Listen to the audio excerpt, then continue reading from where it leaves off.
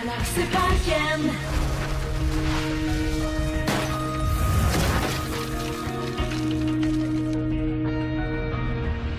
Velkommen til Galakseparken. I dag skal vi snakke om Eh, Planeter, galakser, stjerner og svarte hull. Sola er en veldig stor stjerne, men i forhold til de andre stjernene i universet er den bitte liten. Sola er den stjernen som er nærmest oss. Proxima Centauris er den stjernen som er nærmest oss, bortsett fra sola. Sola er en kule av gass. Temperaturen er så høy der at det finnes verken faststoff eller væske. Stjerner lever aldri evig. Alle stjerner dør ut.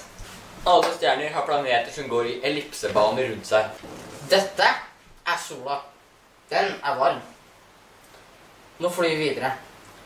Eh, dette er Merkur. Den er Varm. uh, Dette er Venus. Uh, og dette er jorda. Den har mye vann. Dette er Mars. Det er kjedelig. Dette er Jupiter. Dette er Saturn.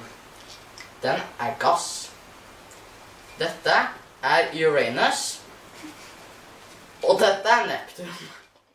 Alle galakser har flere solsystem. Vår galakse heter Melkeveien. Et sort hull er et sted i rommet hvor gravitasjonen eller tyngdekraften ikke kan slippe unna. Til og med lyset kan ikke slippe unna et svart hull.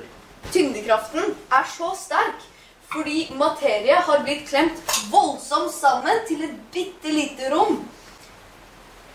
Det kan skje når en stjerne dør. Fordi de ikke slipper ut noe lys, så kan vi heller ikke se sorte hull.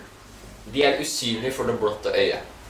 Men med teleskoper eh, med spesielle verktøy, så kan vi se dem. Disse verktøyene kan finne hvordan stjerner og svarte hull oppfører seg annerledes enn andre stjerner. Sorte hull kan være store eller små. Forskere tror at de minste kan være små som et atom. Men eh, på tross av størrelsen kan de ha en masse som er like stor som et fjell. Masse er målet på hvor mye materiell eller greier som uh, finnes i en ting. Andre typer sorte hull kalles stellare. Som du ser her. Akkurat her. Det er veldig fint. Eh, de har, eh, sånne sorte hull kan være masse opptil 20 ganger større enn det vår egen sol har.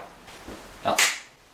Det kan være veldig mange stellare sorte hull i galaksen vår, f.eks. Melkeveien.